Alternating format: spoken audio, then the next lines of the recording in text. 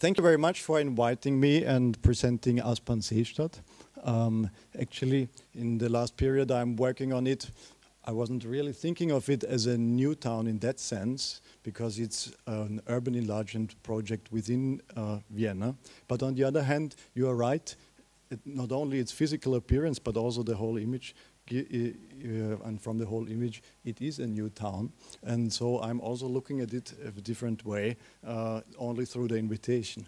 Um, here at the start, I uh, gave you a picture of what Aspern-Seestadt looked like um, only two and a half years ago. You will see other pictures later.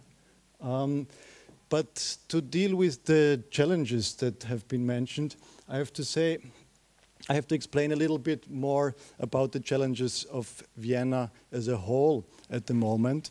And uh, the, the, the main challenge is not how to bring people there. Uh, we, there are 7,000 people living in Seestadt uh, at the moment, and I think there's no single apartment um, free, um, because our main challenge in Vienna at the moment is growth. Um, if you look at this chart, we used we were used to quite a stable and shrinking uh, city where we could build our quality of life in the existing structures for a long time. But then 1989 came with the fall of the Iron Curtain and then specifically the um, EU Eastern enlargement in 2003 and onwards um, created a massive movement and, uh, of growth to Vienna and this prognosis is only one year old, but already outdated because last year we grew twice as much as uh, we thought. We didn't expect so many people from Syria, Afghanistan, and so on to come. Sure. Um, so maybe for the um, for the uh, people from Africa uh, and Asia, these are not enormous figures. But for us, uh, it's a new challenge to uh, um, to, uh, because the second largest city of Austria, for example, is only 280,000 inhabitants, so we have to build something like that in Vienna within uh, 20 years' time. Um, that's why in the 2005 Urban Development Plan, the target area U2 Seestadt, U2 is an underground line uh, that will, or that has been extended to that place, has been defined as a key area of urban development. Um, and Aspern-Seestadt is the core of that key area. Um, the area lies in the east of Vienna, next to the railway line between Vienna and Bratislava, uh, so that gives some opportunities in traffic. And Aspern-Seestadt itself is built on the site of a former airfield, uh, it's roughly the size of the uh, first district of Vienna, 240 hectares.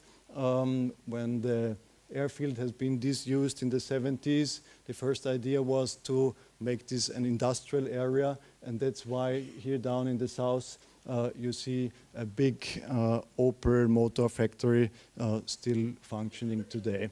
Uh, but as you know, European industrialization stopped in the 80s then, and so this process didn't continue.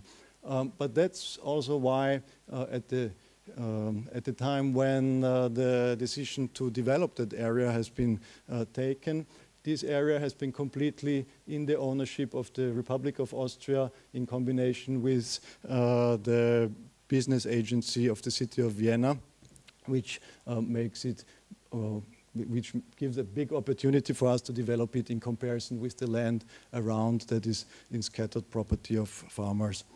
Um, in the meantime, there have been taken in two private partners uh, for financing. um, on the traffic uh, integration, you see this U2 line extension that has been built already. And uh, there is also a highway uh, network extension planned and uh, it's also very important for that area that at the moment has quite rural structures in roads. Only two roads uh, go to the east from uh, this existing highway. So that's, sorry, um, that's the proof. The underground line is there. um, and um, that's the master plan. In, uh, there has been a competition on the master plan um, that has been won by a Swedish architect um, Tovatt, Johannes Tovatt, follower of uh, Erskine, if you know him. Um, and uh, it has been criticized of being very uh, monocentralistic and, um, uh, and too much of a, uh, how do you call it, new um, well, new urbanism style, but I'm working with it for some time and I'm really happy about it. It has very strong elements, a lake in the middle, a ring road around, um, that makes it very flexible in the, in the infield. It gives the idea of density of mixed use and uh, the blockade around is an issue, but it, can, uh, but it comes out of the situation and is solved also quite easily. Um, to be on that. Uh, the target's only some figures. The target is 20,000 inhabitants. We will reach that easily and overcome it probably. At the moment, this part is built and it's only 7,000 inhabitants. Uh, it's already 7,000 inhabitants. It will, it will, be hard to bring 20,000 workplaces there. Uh, there are several efforts done on that. I will uh, go on that later. And it's also quite a challenge to reach a 20% motor traffic proportion. In the whole of Vienna, we have at the moment 29, which is already quite good, but in those areas, uh, uh, it's not that good at the moment. Um, so what do we do to achieve these uh, goals? Uh, one thing is to create a dense, diverse, mixed-use quarter that does not make too many journeys necessary.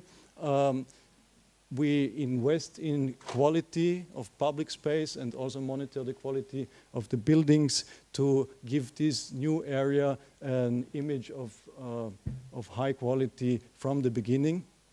And we uh, um, go on to the environment targets with the aim of a city of short distances, um, with offers in eco-friendly mobility and efficient construction site logistics. Sorry. Um, density, just to have an idea, the area that you saw before has an, a floor area ratio of 2.5, and the areas that are closer to the um, to the uh, metro stations will have higher floor area ratios. Um, it was uh, pointed out before that the question of diversity is very important for a place like this. Um, it's tackled in that way that there are a lot of different offers to different layers of society. Uh, there is offers in rental and ownership houses, in subsidized, non-subsidized housing, um, and in building cooperatives. So that contributes to a mixed social structure uh, at the place. And there are all kinds of offers for businesses from 50 square meter stores to uh, 10 hectare building plots. Um, in diversity of origin, uh, already in the first uh, 7,000 people, we see that it's quite an average uh, structure. But uh, what's still not very diverse is the age structure. We have very few people older than 45 uh, living there. Um, on the mixed use. Maybe this is a particularly interesting thing. In Vienna, we have the experience that in new areas, it's really difficult to get um, the developers to build mixed use buildings. Um, few developers want to go into the risk and have a shop in the ground floor and housing on top of it. Um, and so what was done to tackle this here is uh, that First, in the plot sale competitions, there, there were competitions that is standard in Vienna uh, for this kind of housing, um, that where developers compete and the best project will be built. And there, uh, some definitions has been taken where shops should be established in the ground floor. And for the core zone that is red here, there has been a management company found beforehand. It's a shopping center management company that guaranteed already in the uh, competition uh, that they will rent at a certain uh, price the, the ground floor and will take care of the basic uh, supply structures there and uh, maintain it and rent it on to other companies. Um, then uh, on the targets for business allocation, um, the, this target comes from the problem that most workplaces in Vienna are on the other side of the Danube and many people have to commute. So there is the wish to bring more businesses to, to that area. Uh, and the Vienna Business Agency, as one of the co-owners, uh, takes care of that, has already had some uh, results, but um, still the, the, the highway is missing. That makes some difficulties for sure in that field. Uh, quality in open space uh, is uh, very important to give an positive image from the beginning. Um, this was underlined by a concept that has been particularly uh, uh, made for the public space by uh, Gehl Architects Copenhagen that said concentrate your urban ambitions to one main line. That's the most important thing I want to tell here. And then uh, draw all the conclusions for the building plots uh, ahead. I have to hurry up. Um, those are the actors. Uh, the development company kind of plays a, a role of uh, in between the city administration and the uh, developers um, in quality management and introduces quality levels into their uh, plot sale contracts.